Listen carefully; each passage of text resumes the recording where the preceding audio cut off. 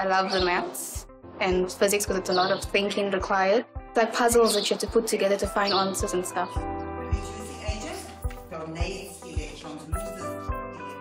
We don't realize that we actually apply physics in our everyday lives. And I think that's my biggest passion, is to motivate the learner, to let them know that there's more out there for them. There's a lot of unemployment in our community. There's lots of social issues, drugs, gangsterism, violence. And so it's difficult for our learners to actually pursue an academic career. I have a long-standing relationship uh, with the community, a very healthy one. I was the teacher at the school and became the principal of the school and we identified mathematics and physical science as the key components there that would uh, improve the results. And so this idea of the Engen Maths and Science uh, schools was born.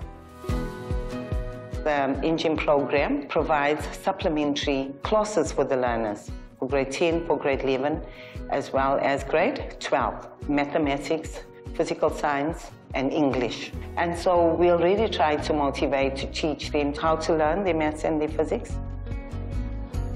Engen maths and science. It really did help a lot because like with the school there's a lot of us in a class. But yeah, you can come and you can ask about questions. Teachers take time to help you.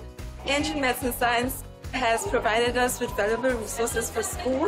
It has built my confidence in my abilities and it also provided us with great opportunities for growth.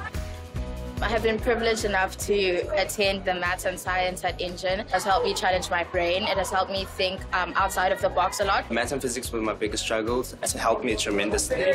I'm a big fan of physics. Like, I find the subject really interesting. The Engen Maths and Science program has helped a lot, you know. I plan on either going into chemical engineering, plastic surgery, or accounting. Plan after school is to go to university and then study for medicine. Grade 12, the incentive is the bursary.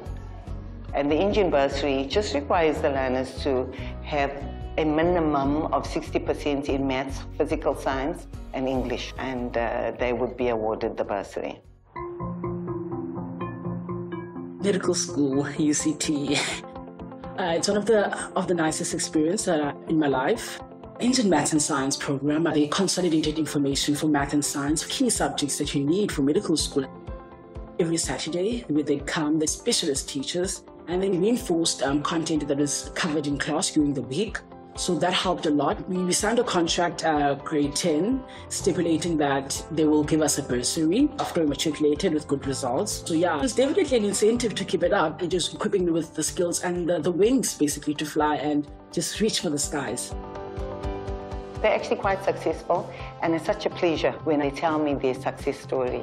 I'm very proud. I'm very, very proud of, of our children. I would love every learner, every student, every child in this community to be given the opportunity to experience education at the highest level and to contribute to the growth of not just to this community, but the growth to South Africa as a whole.